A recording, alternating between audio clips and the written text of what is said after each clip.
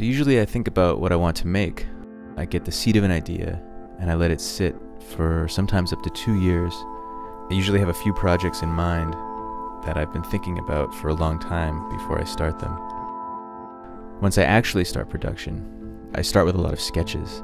I think about the concept, I write down notes, uh, I work things out, and try to get my ideas to become something physical, something with, with form, something solid with shape. So I always start with pencil. I'll start penciling and make a really, really rough, sketchy marks on the wood and just try to accumulate some marks so that it's less intimidating uh, than looking at a, a blank canvas, at a blank piece of wood. I usually work out the, the composition and the main spatial relationships in thumbnail sketches, and then I translate them onto the woodblock. When I draw, I use a mirror because when you do woodcut, you have to do it in reverse because when you print it, they come out backwards.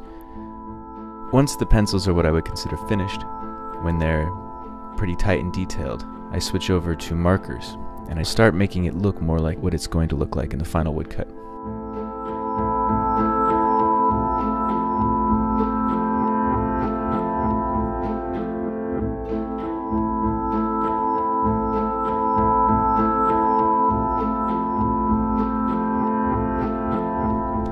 Process is very similar to comic books in that in comic books there's a penciler, then there's an inker, and they each have a different role. And I try to keep those roles in mind as I'm making the piece. So the penciling is kind of like making a map, and the inking is more like making instructions. The instructions are for the carving, which is the next stage.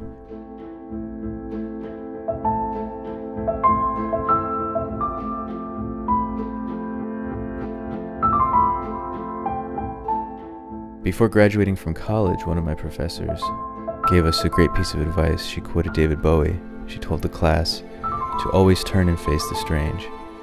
She says it's essential for artists to go where it's unfamiliar, to look where it's uncomfortable, to find places that are difficult to be in, that challenge our assumptions, and, and this is where inspiration lives, and this is also where personal and artistic growth happens. I always try to keep that in mind and try to live up to that advice. As an artist, your life shouldn't be going through the paces blindly. As an artist, it's good to always have to be pushing back against something.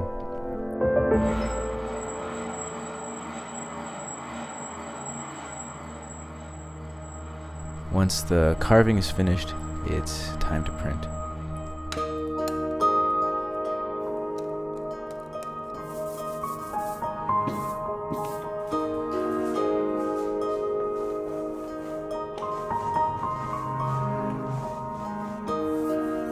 First, I'll put the ink on the woodblock, and then put paper on top of that. Next, I run it through the press.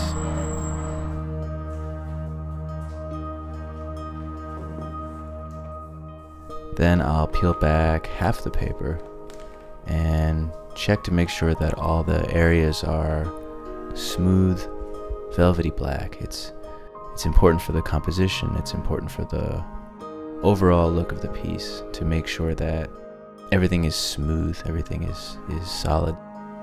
Then I'll take a wooden spoon and burnish the back of the paper. This part of the process is not my favorite. It's uh, labor intensive, but it is the final step. I can carefully remove the paper from the woodblock, hang it up on the wall, and have a look at the finished piece.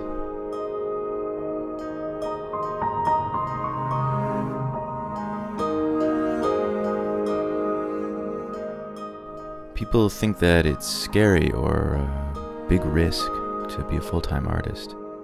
And they're right, it can be. But most artists and most people who are successful will tell you that they've failed way more times than they succeeded. It sounds cliche, but you have to fail before you can succeed. Failure is part of it. It makes you better. It can motivate you. If you can put yourself in a position where you can take the risk, make the sacrifices, I think that you can take that leap, and who knows what might happen.